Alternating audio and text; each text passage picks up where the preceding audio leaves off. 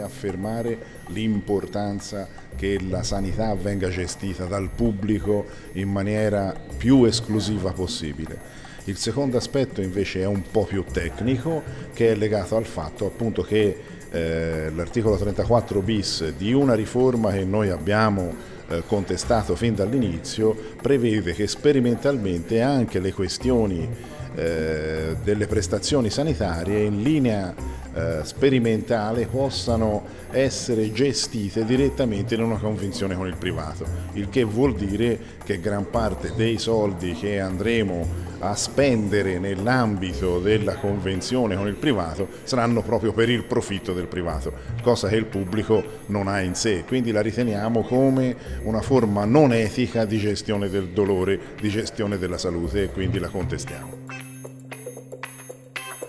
Sicuramente sfrutteremo il fatto che molti dei nostri portavoce nazionali, dei parlamentari del Movimento 5 Stelle saranno presenti in Toscana per la campagna contro il referendum costituzionale, quindi sicuramente ci saranno molti cittadini che ehm, parteciperanno e sarà una grande occasione anche per raccogliere le firme per questo nuovo referendum in difesa della sanità pubblica.